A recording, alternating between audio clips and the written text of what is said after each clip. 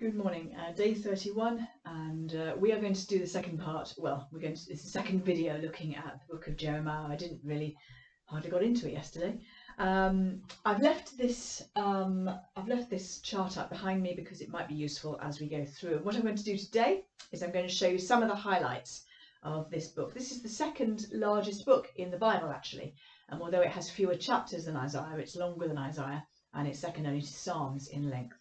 So there's a lot in here, and obviously I can't show it all to you, but I'm going to show you some of the highlights. Um, Jeremiah's call is given to us in chapter 1, and Jeremiah was a young man when he was called.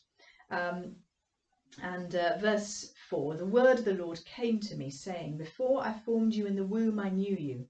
Before you were born, I consecrated you. I appointed you a prophet to the nations. And he protests um, so often that people who are called by God to do something um, protest. You may remember Moses at the burning bush. Um, he was an old man, um, but he made the same excuse. He basically said, I can't speak. I haven't got the fluency of speech. Don't make me do this. Um, and that's pretty much what Jeremiah says as well, only he's a young man. Um, he says, Ah, Lord God, behold, I do not know how to speak, for I am only a youth. And uh, God says to him, he touches his mouth um, interestingly, something similar happened to Isaiah, didn't it? And then he says this Behold, I have put my words in your mouth. See, I have set you this day over nations and over kingdoms to pluck up and break down, to destroy and to overthrow, to build and to plant. We get this sense um, that uh, the prophetic call was an unwelcome one. Um, and it's not surprising, really. Uh, you look at what happened to people. So Jeremiah, as we're going to see, is going to have a very miserable life um, and all sorts of bad things are going to happen to that. And I won't steal my own thunder. I'll, I'll come to that in a few minutes.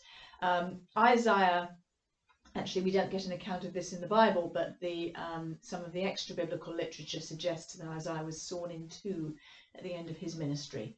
Um, we get uh, a sense of what um, of what happened to the prophets in the New Testament. Actually, Jesus weeping over Jerusalem and saying, "Ah, Jerusalem, you who stone the prophets."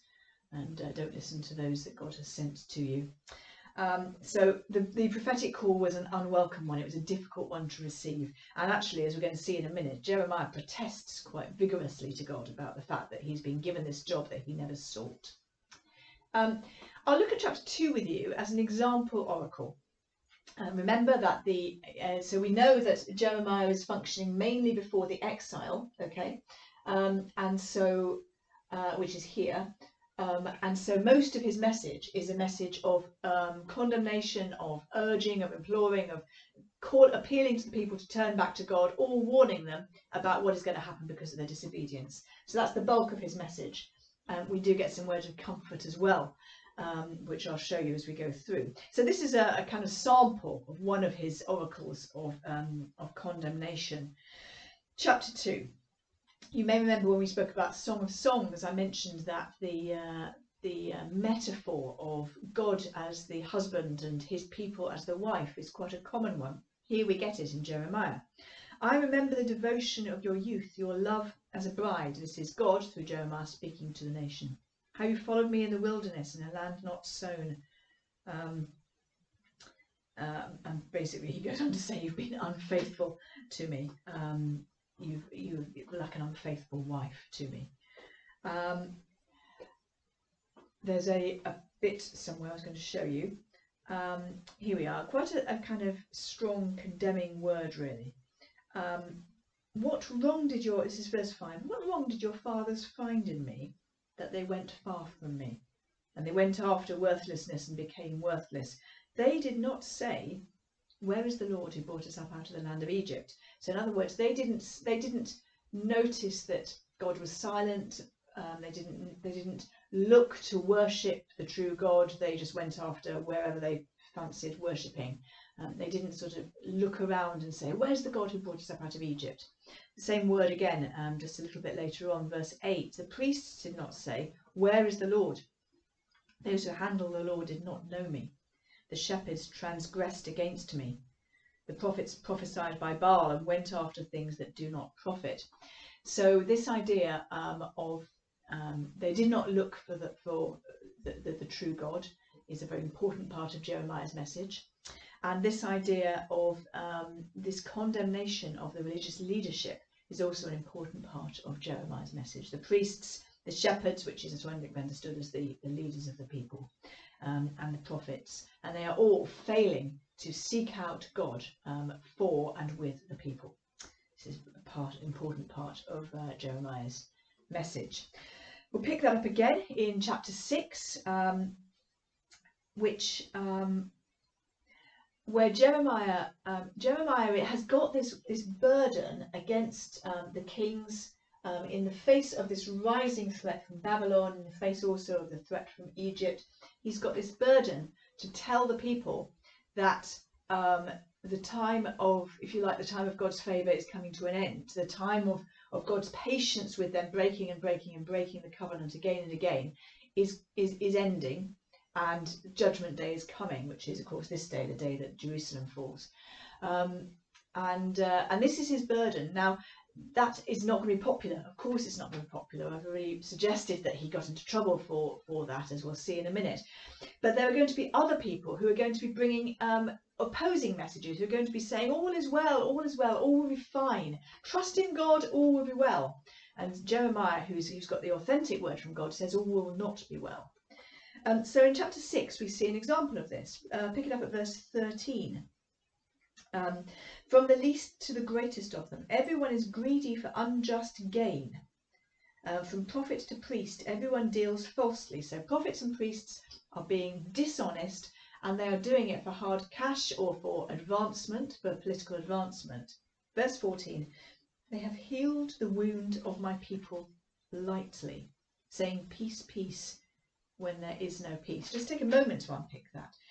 Um, as a, I used to be a doctor, and uh, I know, although I wasn't a surgeon, that um, you don't heal a wound lightly. You know, if there's a pus there or infection there, it needs to be dug out. Sorry, that's a rather graphic way of putting it. It needs to be excised. It needs to be treated. You don't just put some stitch stitch over it or put a plaster on it because it will just separate from below. Um, I think that's the image here that Jeremiah is is uh, saying. He, he's saying he's saying that these false prophets, these, these unfaithful rulers are just papering it over. They're just smoothing it out and saying, oh, it's all fine. And actually underneath there's a kind of suppurating sore. Um, saying peace, peace when there is no peace. He's not criticizing them for wanting to seek peace so much as for saying all will be well when all is not well.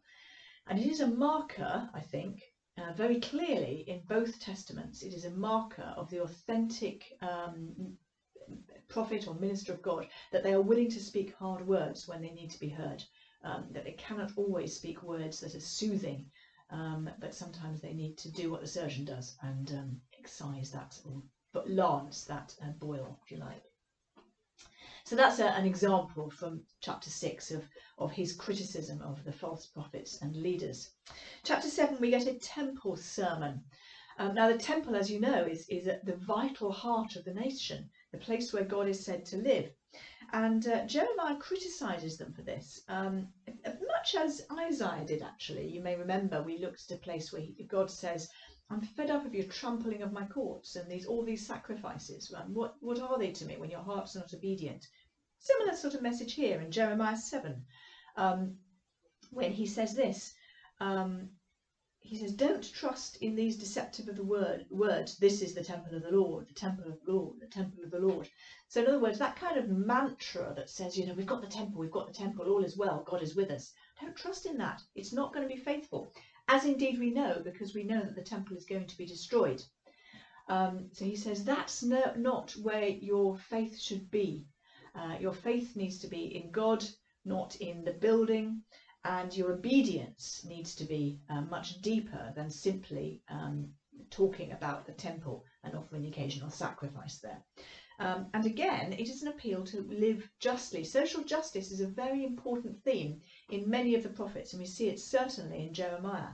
So here he says, if you truly amend your ways and your deeds, if you truly execute justice with one another, if you do not oppress the sojourner, that's the foreigner who's living among you, or the fatherless, or the widow, or shed innocent blood in this place, and if you do not go after other gods to your own harm, then I will let you dwell in this place, in this land I gave you.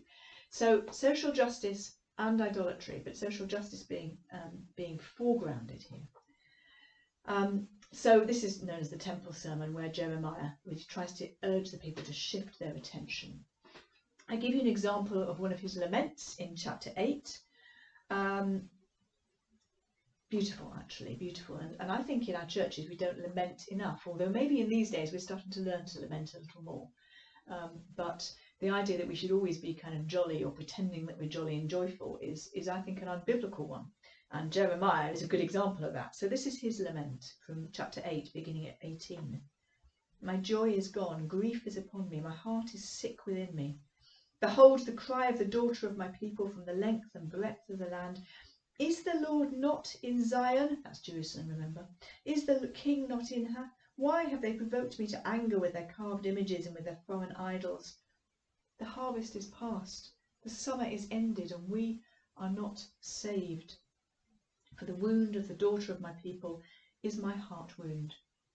I mourn, and dismay has taken hold on me. What beautiful words, I think. The wound of the daughter of my people is my heart wound. That, that sense of him, carrying in his own body, as it were, the pain of the nation, that the people that he is called to serve.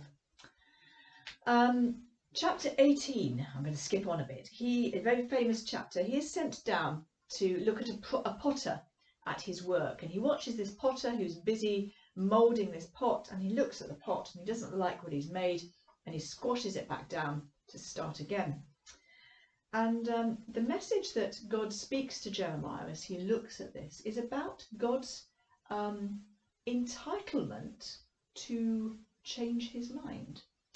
Um, now, I think we need to be careful how we interpret this because um, we, we learn from the from the whole of Scripture really that God um, is the same yesterday, today, and forever. He's not fickle. He's not arbitrary. Um, but anytime that we speak about God, we are kind of struggling with metaphors that don't fully represent Him. And um, I, I, think I mentioned a few days ago that we speak about God having, and the Bible speaks about God having a strong right arm and wings and a long nose and so on. Um, and and so I think this language of God uh, reserving the right to change his mind also needs to be understood as a metaphor, but nonetheless an important one. So he says, if I um, if I threaten you with harm um, and you repent, then I'm going to I, I, reserve the right not to give not to send that harm upon you. Okay. Um, likewise, if I make promises to you and you don't keep your side of the bargain, then I reserve the right to withhold those blessings from you, if you like.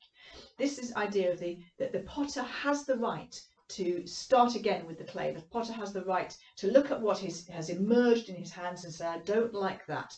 I'm going to change it. Um, I think that's that's the burden, that's the message of chapter 18 there. Um, I'll just take you on to chapter 20. In chapter 20, Jeremiah has been put in the stocks for his words, which is a, a grim place to be. And there he addresses really bold words to God. Do you remember a few days ago we looked at um, Job and Job's bold words to God? Well, Jeremiah is equally bold, I think. Chapter 20, verse 7 O Lord, you have deceived me, and I was deceived. You are stronger than I, and you have prevailed. I think that idea of deceit is perhaps more like you've tricked me, you've you've um, uh, you've got one over on me, if you like. I've become a laughing stock all the day. Everyone mocks me. But whenever I speak, I cry out, I shout, violence and destruction. For the word of the Lord has become for me a reproach and derision all day long. And listen to this. This is the this this verse is the verse actually that I think for many of us who preach would could be um, a word that defines how we feel about that. If I say I will not mention him or speak any more in his name. There is in my heart, as it were, a burning fire shut up in my bones, and I am weary with holding it in, and I cannot. In other words, God has put this word within me, and if I do not speak it, it will consume me. This is Jeremiah's word, and I think for many of us who are um, charged with preaching, we feel the same about it. I'll leave you to have a look at that a little bit more if you'd like to. Um, Jeremiah 23, um, we get uh, a continuation of this theme of um, the, the, the, leaders of God's people have let um, God and the people down, and God says that he will raise up righteous ones instead. Verse, chapter 23, verse 1 Woe to the shepherds who destroy and scatter the sheep of my pasture. Um, you have scattered my flock and driven them away. Um, I will attend to um, you for your evil deeds. That's scary words, says God.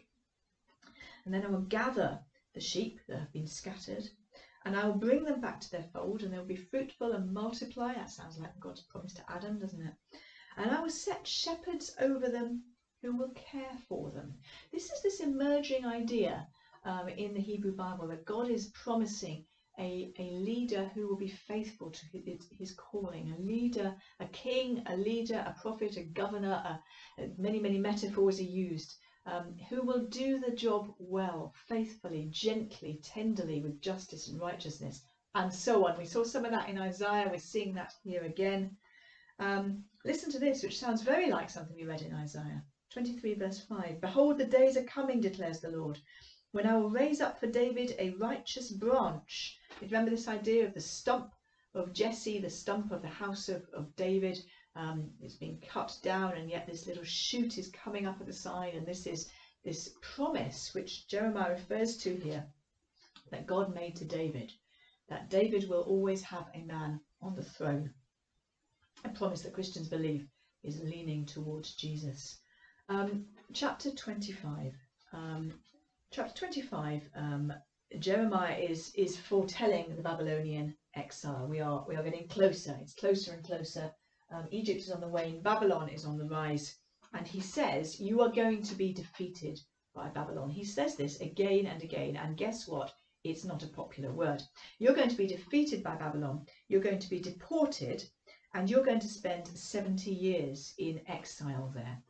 And um, if I remember when we get to the book of Daniel, I will refer back to this passage because Daniel, who is living in exile, um, discovers this word and kind of looks at his calendar, as it were, and says, "Hey, God, seventy years are up. How about you know? How about we see a turning point here?" Um, and so we're going to yeah note that because Daniel will pick up on it later. Um, what else have we got in this chapter to show you? Um, I will pick it up actually in chapter 27. Um, in 27, continuing this same theme, Jeremiah makes a wooden yoke and he puts it on his shoulders. This is an enacted prophecy, this prophetic action, like we've been talking about.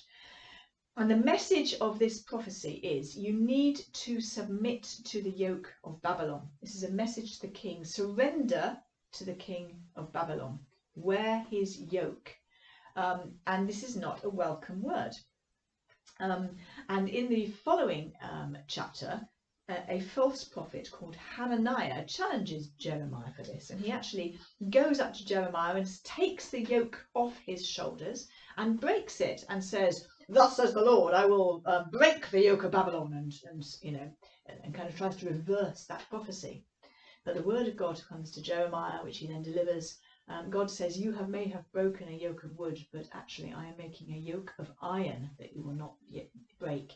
This idea of the word that the Lord can't be countermanded by somebody who doesn't like it, um, but also this idea that Babylon is coming. This is the fulfillment of the um, of the threat for breach of covenant, um, and that they need to submit to it because this is God's chastening. This is God's punishment. They should not resist it. Chapter 31, a real highlight, I think, in the book of Jeremiah. I love it. You could read the whole chapter um, and find much joy in it, I think. But let me show you something from verse 31 of that chapter. Um, Behold, the days are coming, declares the Lord, when I will make a new covenant with the house of Israel and the house of Judah, not like the covenant I made with their forefathers that they broke. Um, this is the covenant I will make with them in those days. I will put my law within them, and I will write it on their hearts, and I will be their God, and they will be my people. And no longer shall anyone teach his neighbour, saying, Know the Lord, for they shall all know me. So what's what have we got going on here? We we see that the covenant that God and the people made at Sinai has been broken, at least at the people side of it, although God continues to be faithful to it nonetheless, even though they are going to go into exile, but God doesn't let go of that. And as part of him not letting go of that, he says, I'm going to make a new one or a new expression of the old one. You can kind of different ways of interpreting this, but but the idea is that something new is coming, something better than the Sinai covenant is coming, um, when the law will not be on tablets of stone, will be written in the heart. And Christians believe that, um, and in fact, Jesus taught Christians to believe because Jesus uses this language of new covenant um, when he breaks the bread with his disciples in the upper room on, on Maundy Thursday. Um, so Christians believe that this is, again, this is straining forward to Jesus who brings about the new covenant that God makes with his people. Um, and a covenant where the Holy Spirit is poured out into hearts and shapes them to be Christ like in their hearts rather than having to obey um, words written on laws of stone. I'm not suggesting the Spirit ever completes that work of Christ likeness, but this is the, the idea of how the Spirit is operative in the new covenant. And Jeremiah is, is getting a glimpse of this, I think, and is, is straining forward to that promised future. Um, we're nearly there because I'm going to move fairly quickly over the last few chapters. Chapter 37 onwards, we get a quite a long biographical section. Actually, it starts in 36, where we get that bit where, as I mentioned yesterday, where the um, uh, where King Jehoiakim keeps burning the scroll. Um, so that's in 36. In 37, um, Jeremiah um, warns Zedekiah, this king here, um, so at this point, the Egyptians have temporarily beaten the Babylonians back, and Zedekiah is very excited. He thinks the Babylonians are now a spent force. Jeremiah warns him, no, no, the Babylons are just regrouping. They're coming back. They will conquer you. They will take you into exile. Um, and you are going to be um, defeated. And he has a, a word again also about what Zedekiah's own fate will be. In response to that, in 38, he is thrown down a well um, and he's only fortunately it's not a it's a damp well not a wet well and his life is saved. Um, and then the second half of that chapter um, babylon they do surrender to babylon. And babylon um, falls uh, uh, sorry babylon uh, takes jerusalem but does not destroy it at this point. You may remember it's a kind of two stage process the king sends um, a messenger to Jeremiah to say, Jeremiah, would you like to come to Babylon? We'll make you welcome there. I, I guess that he's heard these words that Jeremiah has been saying, you know, surrender to Babylon, um, submit to its yoke. And he probably quite likes that and probably thinks quite highly of Jeremiah. Jeremiah chooses to remain behind. Um, and then among the remnant of the people, um, we get this um, uh, we get this urge to go back to, to, to Egypt. So among those who have not been deported to Babylon, they say, well, let's go to Egypt then. And Jeremiah's new message in these chapters is no, don't put your trust in Egypt. Egypt will not, will, will not serve you well. Put your trust in God. Um, but nonetheless, they decide to go back to Egypt, and Jeremiah um, is taken back to Egypt. And then we get a, a, few chapters where we hear of some of the oracles that he delivers while he's in Egypt. And then in the final chapter, chapter 52, which feels like an editorial addition really, because at the end of 51, it says, Thus far are the words of Jeremiah. And then 52 picks up, and then we get an account of the fall of Jerusalem and how it is utterly sacked and how the temple is burned um, and that's kind of the end. And it ends in the same place that the book of Kings ends. Jeremiah's own fate is unknown to us. All we know is that he gets taken down to Egypt and then presumably he dies there in due course, but we don't know really how he dies. That's the end of the account of Jeremiah, the weeping prophet. Um, hope that made sense. Um, hope I've shown you some of the highlights. Uh, tomorrow we will look at the book of Lamentations, um, commonly attributed to Jeremiah, although I'm not sure that that's um, actually correct. But Lamentations is a lament for fallen Jerusalem, and we'll have a look at that tomorrow.